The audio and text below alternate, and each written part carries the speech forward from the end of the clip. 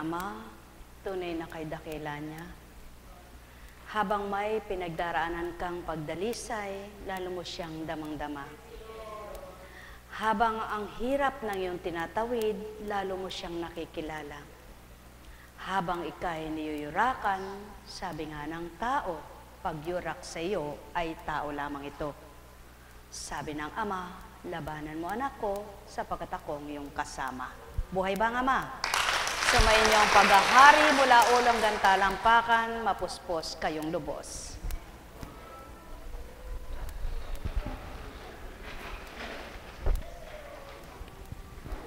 Kapag ikay nasa pagkatao, tuwiran nga palang hindi mo maabot ang mga kaganapang kay hirap unawain.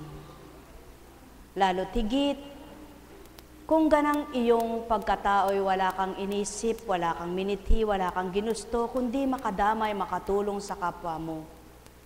Kundi gawin mo yung nakakarapat at nararapat na kalugod-lugod sa Ama. Lahat isasangguni mo sa Kanya at ang bawat kaganapan na pinatutupad niya, pumisay luha ang dulot sa iyo. Ngunit pinasasalamatan mo siyang walang humpay sa bawat kaganapan sapagkat sabi nga niya, kung walang magaganap, paano mo makikilalang lubos ako anak? Kung wala akong ipapahintulot na mahirap na sa iyo ay mangyari sa buhay, paano mo mapapatotohanan ako ang iyong kagaanan? Paano kung walang magaganap na sa iyo ay imposibleng maganap at imposibleng makausad sa iyong mga dinadaan ng hirap at sakit upang ako'y makilalang hiwagang taglay ko'y walang hanggan. Mga mahal, sadyang napakahirap unawain bilang pagkatao. Ngunit pupurihin niyo ang Ama. Mapapasalamatan niyo siya kapag naunawaan niyo kung ba't naganap ito sa buhay niyo. At wala nga palang ibang magpapatatag, magpapatibay maliban siya. Yaan at yaon ang patutuong sumasa inyo siya. Sa kabila ng hirap, wala kayong pagkabahala, pagkatigatig, pag-aalala at pagkatakot sapagkat alam niyong buhay siya. Hindi kayo nag-aalinlangan at di kayo mag-aalinlangan sa maaring mangyari sapagkat alam niyong hindi kanya pababayaan. At yaon ang binuhay niyang pananampalataya at pag-asa na dapat mangyari lalo't higit sa mga hinirang. Sa mga nabuksan, sa mga nakaunawa. Sapagkat paano mo mapapatutuhan ang buhay ang Diyos na Ama na yung pinaglilingkuran kung wala ngang mga ganitong kaganapan? Ngunit sa mga kaganapang nagaganap sa buhay mo, huwag yaon ang maging daan para ikay manghina, mawala ng pag-asa at tiwala sa Kanya.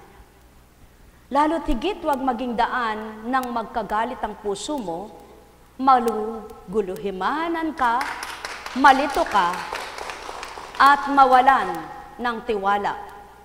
Sapagkat kapag naganap yaon, pagkatao na ang nangingiribabaw, pagkatao ng nangungunat, hindi na ang espiritong suma sa katawan.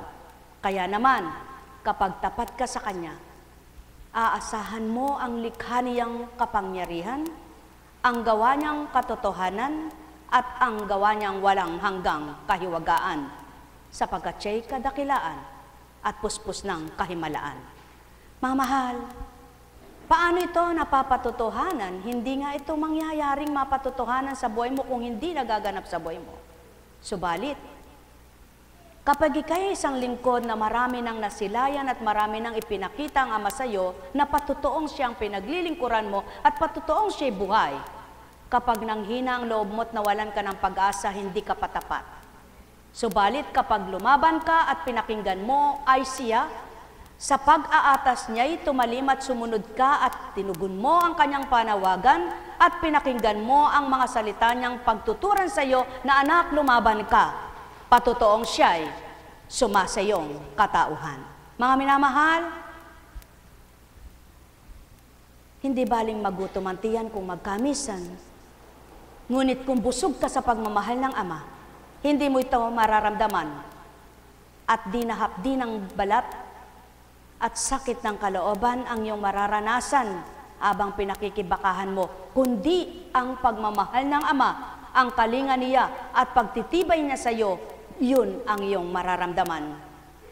Patotoong siya'y sumasa iyong anak niya.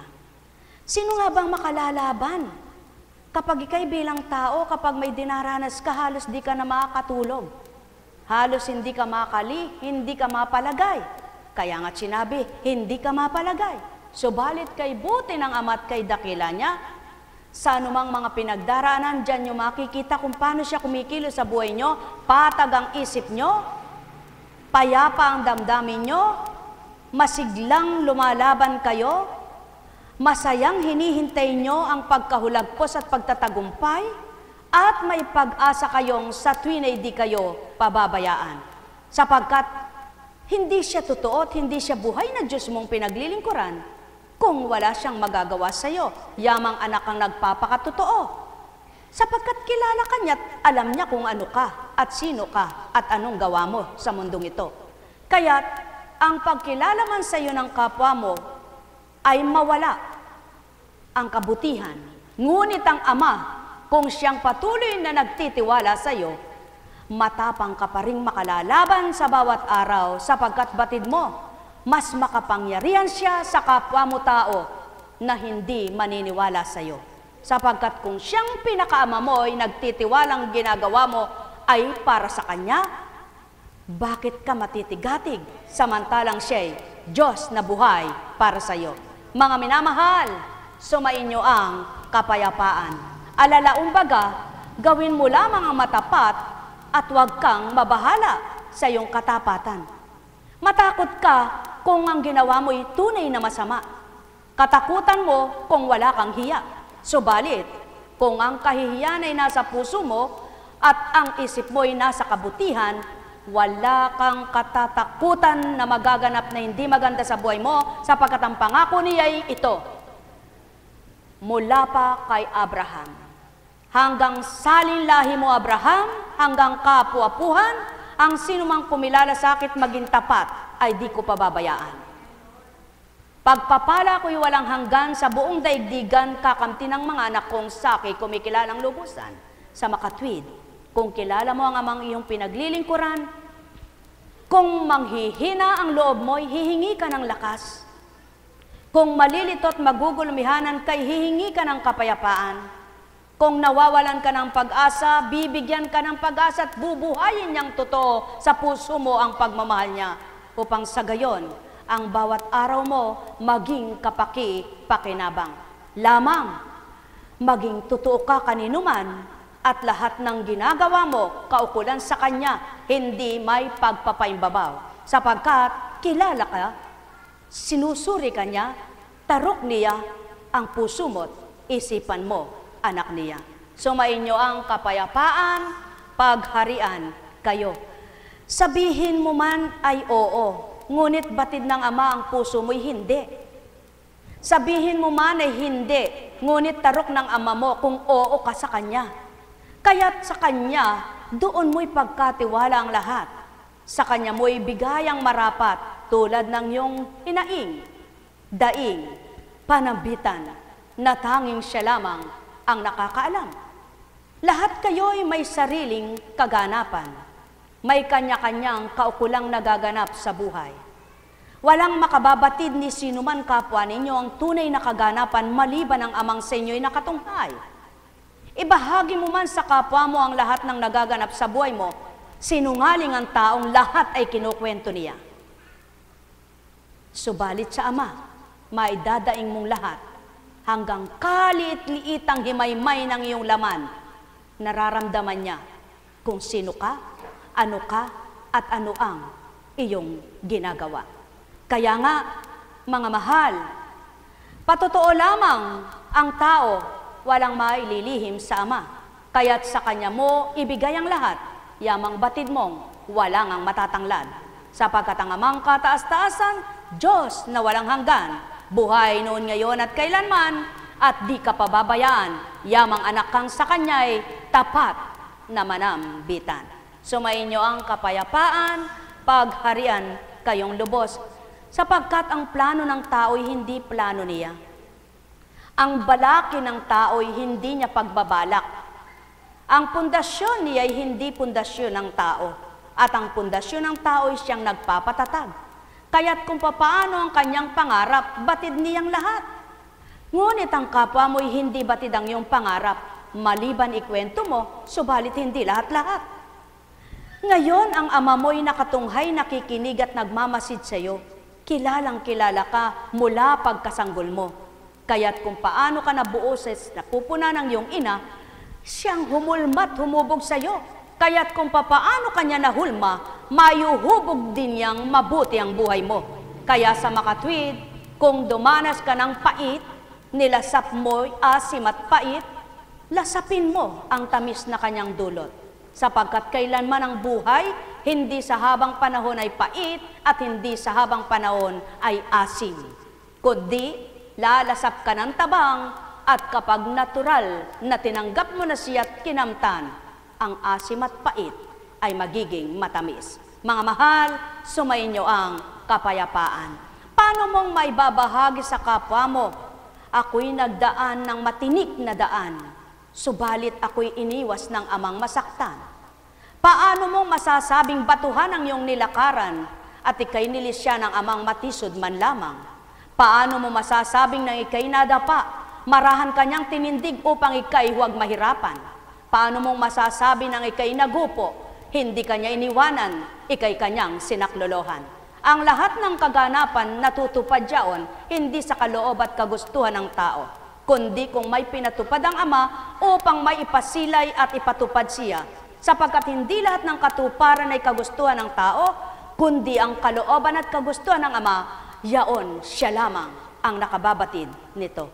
Mga mahal, katotohanan katotohanan, kailangang maranasan mo ang mahirap upang masabi mo sa iyong hirap, ang ama ang iyong kasama't nagpagaan.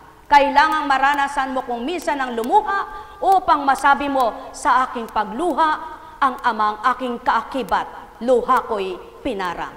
Upang maranasan mo kung paano siya ay makibaka, mararamdaman mo sa puso mo kung sino siya sa buhay mo kapag siya'y tunay mong tinanggap at kinilala sa buhay mo tao. Sumainyo ang kapayapaan, pagharian kayo. Kaya't ang mga anak niyang tapat at totoong tumanggap, ni hindi kailanman nagpapaliwanag,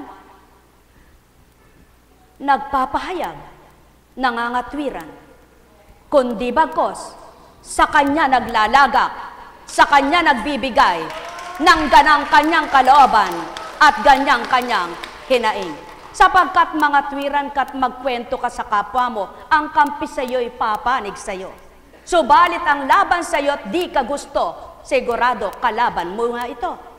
Para ka na lamang naghanap ng pupokpok sa iyong ulo. Ngunit kung sama mo idaday ngang lahat, sigurado siya ang kakampi mo sa bawat saglit ng buhay mo. Yan ang pawang katotohanan, mga mahal ko, sapagkat ang tao, maaring magkunwaring mabuti sa harapan mo, ngunit ang Ama, tunay na mabuti siya. Kaya't kung tunay na pagdaing mo ay tapat at totoo, kapwa mo espiritu siyang pangungusap na gawin mo. Ngunit kung hindi mo batid at damang-damang puspos siya ng espiritu, kahit kailan, liligwak at liligwak, luluwal at luluwal pagkatao niyang taglay. Yan ang pawang katotohanan, mga minamahal. Kaya't ang katapatan ay sa puso, sa isip ang kalinisan, kapag naghari sa buong katawan, puspos ka ng kabanalan. Sapagat ang Ama, ito ang kanyang taglay. Mahal na mahal ko kayo, tuwiran kong tinuturan, mahal na mahal ko kayo. Alalaong baga, kanya-kanya ang kalalagayan ng tao, kanya-kanya ang taglay nito, kanya-kanyang kakayahan, kanya-kanyang pag-iisip, kanya-kanyang gawa. Subalit mas maganda't marapat ang gawa mo'y totoo, sa kapwa mo'y tapat ka, anak ng Ama. Pawang katotohanan ng sakit tinuturan, Kung mismo sa minamahal mong sinasabi di ka tapat, paano ka pang magiging tapat sa iba? Kaya't kung ang katapatan ay nasa puso mo, maging sino may tapat ka. Sapagkat kung papaano ka nagiging tapat kahit na kaninong maliit sa iyo, magiging matapat kang higit sa ama mo. Sapagkat siya ang pawang katotohanan, katapatan ay taglayin, ama ang iyong pangunahin. Sumainyo ang kapayapaan, pagharian kayo. Nekkarameneyahanam, nekkarameneyahanam, nekkarameneyahanam, sapagkat may taong uungkalin, bubungkalin ang iyong buhay, ngunit pagkaraan, isasambulat na parang bombang pumutok yan. Subalit ang Ama, lahat ng kaukulan mo, lahat ng kaalaman mo, lahat ng nasa iyo, batid niyang lahat ito, at di niya loloobing wasakin ka bilang tao. Kundi ang gagawin niya sa iyo, kung nawawasak kay bubuuin niya. Kung nanghihina kay palalakasin ka. Kung nawawalay kay hahanguin ka at ilalapit ka sa Kanya. At kung nadidimlan kay tatanglawan Kanya. Kung nagkukulang kay pupunuan ka. Kung nahihirapan kay pagagaanin niya. Kung ikaw ay nanghihina at nawawala ng pag-asa, bubuhayin niya ito at ukol sa buhay mo'y bibigay niya. Tao, yan ang Ama. Patotoo ko sa inyo. Kaya kung katapatan at pawang katapatan sa bawat isang kapwa-tao ay kaukulan naroroon sa bawat isa, kaisa kayo ng Espiritu Santo. Kaya't ang may pandinig ay nakarinig. Mahal na mahal ko kayo. Yaon ang pawang katotohanan, wikang katotohanan kanino man. Ang pag-ibig ang nagbunsod kung bakit may ganitong gawain kayo. Sapagkat kundi sa pagmamahal, walang magbabatat magsusumakit na sa inyo'y maglilingkod, taong aking mga iniibig. Sumainyo ang kapayapaan, pagharian kayo, katotohanan katotohanan, manguna ang Ama sa inyo. Etche karamaleya neya na karamanaya, neya na karamaya na, nekerameneya hanam. Buhay ba ang Ama? Ang sabi nga,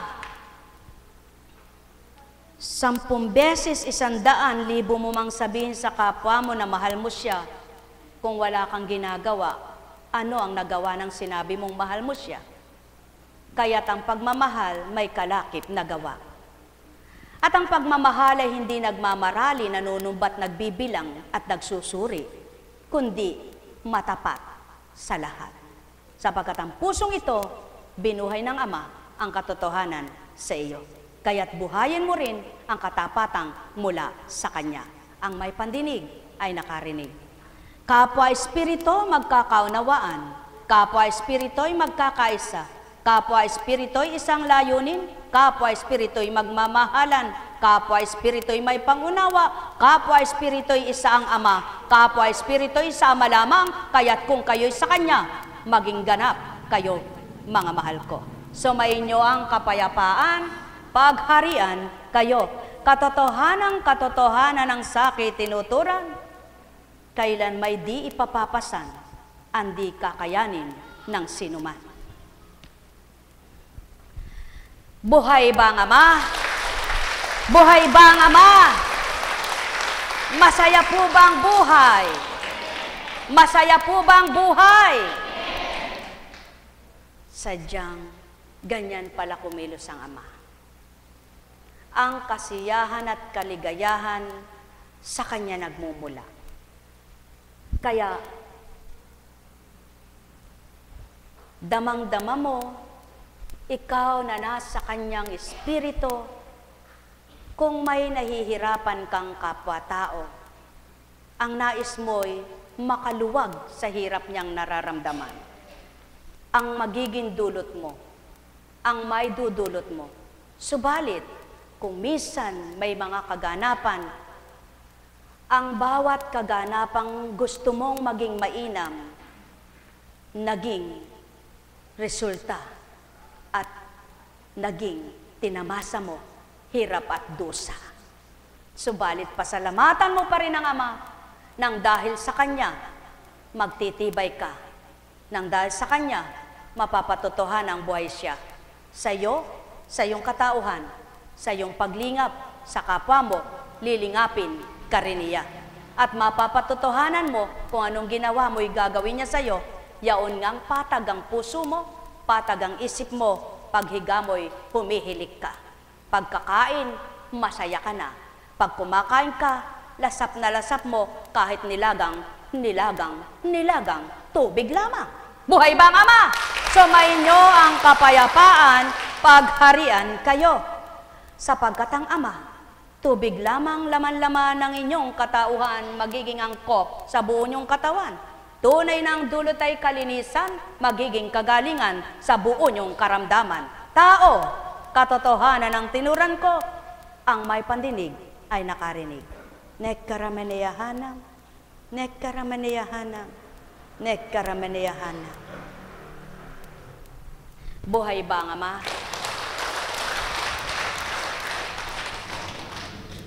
Ayon po sa natutunan ko sa Panginoon, sa pamamagitan ng kanyang espiritu, ang tunay na pagtitiwala at pananampalataya daw, yung halimbawa bukas, bukas na lang.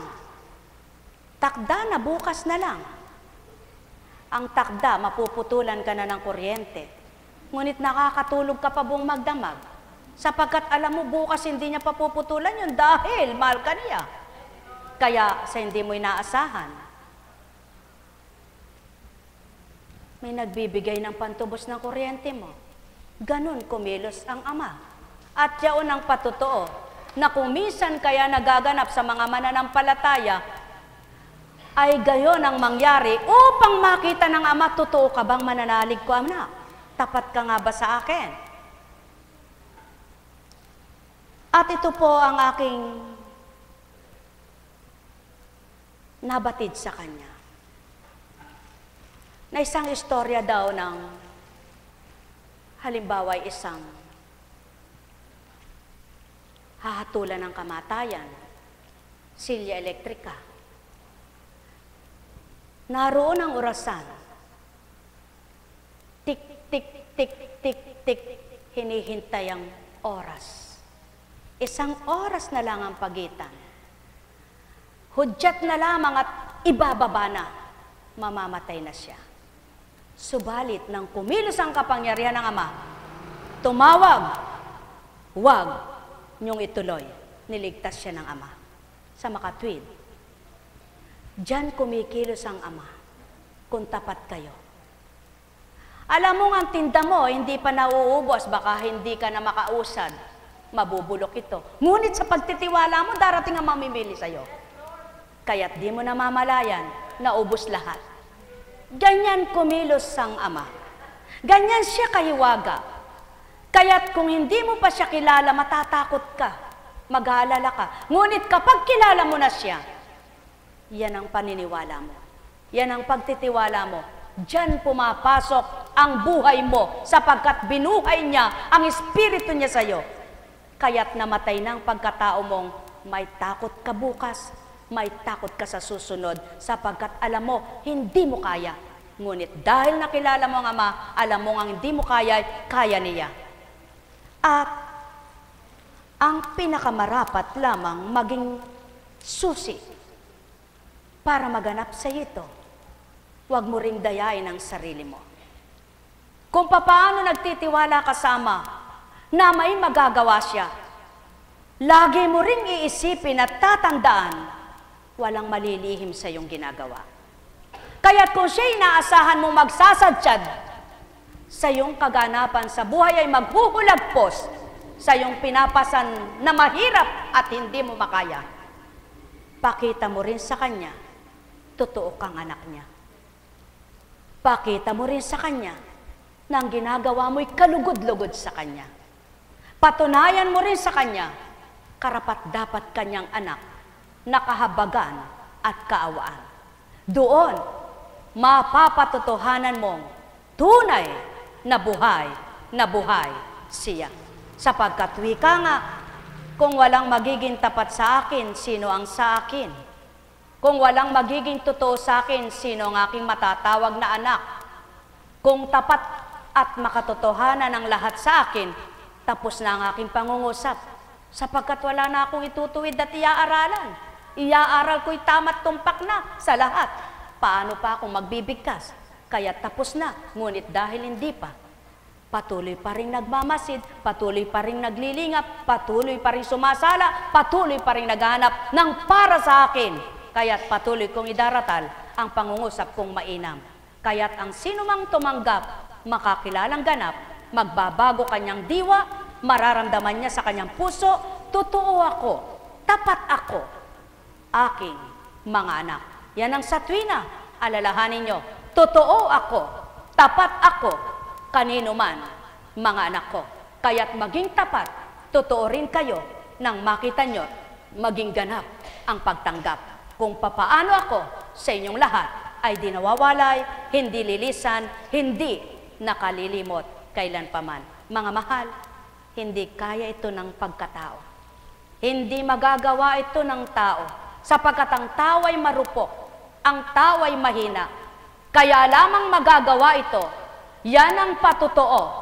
Isinilang ka sa Espiritu ng Ama at nawala, namatay na ang bagong buhay ay espiritu na. Ang si ikaw na dating pagkatao mo'y napatay na, ngunit buhay ka pa upang magamit ng Espiritu Santo sa bagong buhay mo, hindi na sa lumang buhay mo. Buhay ba nga ma? Buhay ba nga ma? Mga minamahal, katotohanan, katotohanan ng sakit tinuturan, sumainyo ang kapayapaan. Paano mo ba madarama na kapiling mo ang Ama? Sa oras na may tinatanong ka ba't nagkaganyan ang buhay mo? Sa oras na may iniisip ka at pagdakay siya ang naisip mo, ang itutura niya ay, anak, bakit mo lilituhin ang iyong isip?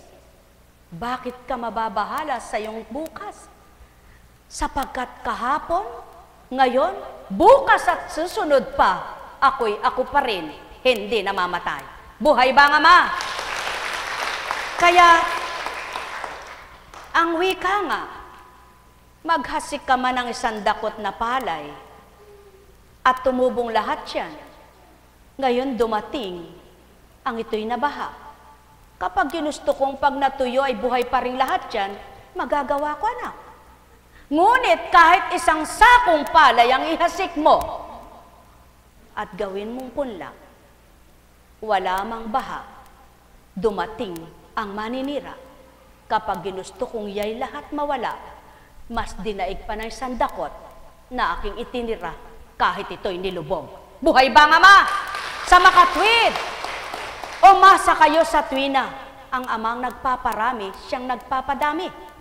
Subalit hindi ikaw ngayon, magalak at magpasalamat sa mga biyaya at pagpapala mong natatanggap na tunay na sa iyo ay pinasasalamat sapagkat tuwiran niyang ito'y pangangalaga ang ganap. Sapagkat ang buhay ay sa Kanya lamang, pangangalagay sa Kanya rin naman. Kaya't gawin mong mainam, tuparin mong may buti at kabutihan sa puso mo, sa isip mo. Ang kabutihang ginawa mo, higit na kabutihan pa ang gaganti sa iyo. Mga mahal, kung lahat ng mabuting ginawa ang magiging dulot pa'y masama, wala ng taong gagawa ng kabutihan dito sa lupa. Alam kong may magagawa ang Ama. Alam kong may magagawa ang Ama. Pagka winika niya, manalik ka na.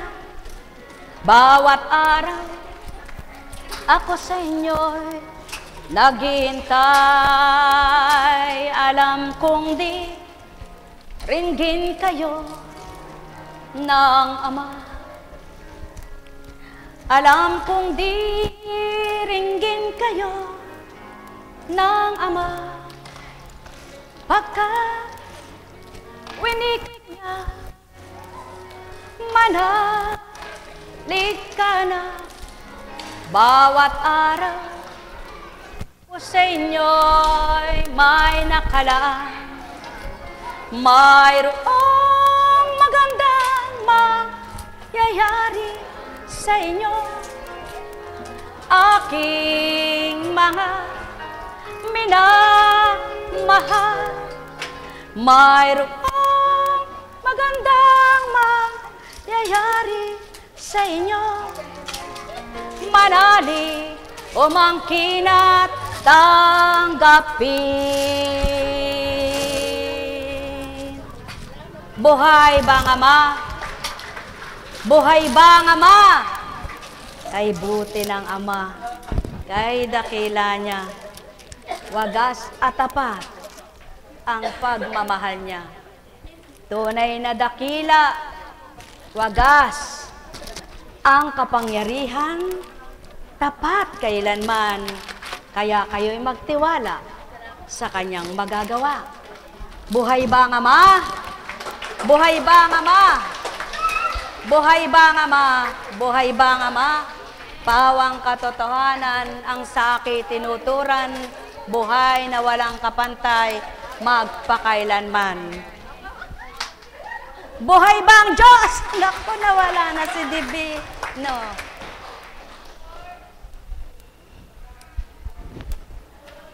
Nakakahilo daw po ang gutom, ano? Alam nyo, kung minsan, mas nakakahilo yung mag-isip eh. Tama po ba? Para hindi kayo mahilo, huwag kayong magpakagutom at huwag din kayong mag-isip. Sapagkat kapag kayo nasama, hindi masasayang ang isip nyo bawat araw. Sigurado gagamitin ito sa kabutihan at gagawin nyo'y kabutihan. At lalong hindi niya kayo gugutumin sapagkat kayo'y kanyang pakakainin. Isa kang tapat at makatotohan ng kanyang anak, gugutumin ka ba at magkakasakit sa gutom? Mahihilo ka? Kahit na sa pag-iisip, hindi niya gagawing mapulpul, maubos ang isip mo dahil sa pag-iisip ng hindi tama, kundi sa mabuti. At habang mabuti naman ang paggamit sa isip mo, hambing sa linang, lalong gumaganda ang pananim mo. Buhay ba ang ama? Buhay ba ang ama? Mga mahal, sumayin nyo ang kapayapaan. O sige, sinong nagtanim na inalagaan niya yung kanyang pananim, pagkatapos ay namatay na hindi siya nalumbay. Nabuhay ang mga salita ng Ama sa'yo. At nakita niyang sinasabuhay mo. Pababayaan ba niya itong mamatay? Hindi, sapagkat malulumbay siya. Nang dahil sa mga kinamtan mo, siya pa rin ang magtataguyod sa iyo. Sapagkat sinasabuhay mo ang salita niya. Pinangangalagaan mo ang binhing hinasik niya sa iyo. At minimithi mong mamunga ng mamunga at makapamahagi ka ng bunga nito. Paano niyang loloobin? Na ikaw na isang nagbabahagi ng kabutihan ay mawala sa isang iglap. Hindi. Ang mawawala ang isang masama. Ngunit ikaw na nagpapakabuti, patuloy kanyang gagamitin sa mundo. Buhay ba nga ma? Buhay ba nga ma? Kaya mga mahal, katotohanan katotohanan, magmalaki man ang tao sa kanyang ginagawang kamalian, nakalulusot ako, nakakahulagpos ako, hindi ako nakikita, hindi ako nasisilo, at hindi ako nabibisto. Mali. Tandaan ninyo, tao kung mapagtataguan mo, amay hindi kahit kailan ito. Sapagkat siya ang may mata, higit pa sa liwanag ng ilaw, sapagkat siyang tunay na liwanag. Mga mahal, sumainyo ang kapayapaan. Alala umbaga, sapagkat kayo'y mahal na mahal, kahit maliit na kasalanan ay nais itama at igawang marapat. At ang bawat kabutihan ay nais ng amang lalo pang lumakit, lumagot, lumawak. Kaya, huwag kayong magdaramdam kapag kayo'y tinutuwid. Huwag kayong nasasaktan kapag kayo'y may pinangungusapan. Inaaral ay mainam upang namnamin yung lubusan, sapagkat kung tatanggapin at inyong sasabuhay, kayo rin ang makikinabang masisiyahang lubusan, sapagkat siya ng Ama. Hindi ang mabuti mo ang sasabihin niya sa iyo, sapagkat at kontento niya sa kabutihan mo. Ngunit ang maliit na kasalanan mo, ang kaunting pagkakamali mo, nais pa niyang maging mabuti to. Kaya't itutuwid pa rin niya, matuwa't magalak ka kung ito'y nagaganap sa buhay mo. Sapagkat malumbay ka na, matigatig ka na, kapag hindi ka na pinangusapan ng ama mo. Ibig sabihin, binigay ka na kay Satanas. Sumayinyong kapayapaan, pagharian kayo. Katotohanan ng sakit tinuran, basahin niyo sa banal na libro. Matutunghayan, tinuran ko. Ang may pandinig ay nakarinig. Mahal na mahal ko kayo. Tuwiran kong tinuturan. Magalak kayo. Sa tuwin magalak. Matuwang tuwiran.